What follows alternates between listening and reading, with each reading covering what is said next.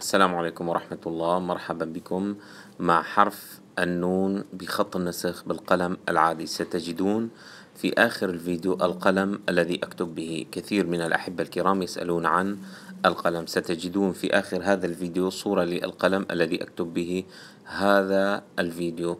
وهنا قلم آخر أيضا هو نفس النوع ولكن رأسه مختلف. كتبت فيه الفيديو السابق لكن هذا نوع آخر بإمكانكم أيضا البحث عنه وهو موجود في أغلب المكتبات. مع حرف النون نلاحظ طبعا حرف النون قريب من حرف الباء.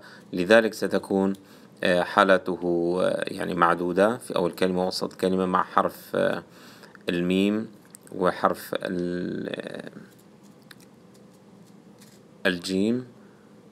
لكن وسيكون هناك في آخر الفيديو إن شاء الله. عبارة يمكنكم أن تتدربوا عليها. لاحظوا الميم الآن مع النون مع الميم. والآن النون مع حرف السين أو الشين. وفي النهاية مع حرف الميم. تماما مثل بسم الله. أيضا سنكتب النون مع الميم. المنفردة القائمة إلى الأسفل. لاحظوا تماما نفس الباء. لذلك يعني أتمنى أن آه، تتدربوا عليه يكون آه، يعني تدربنا على الباء والنون. هناك من يطلب أن نكتب بسرعة. في هذه الفيديوهات آه، أكتب من أجل التعليم. لذلك أكتب أيها الأحبة ببطء.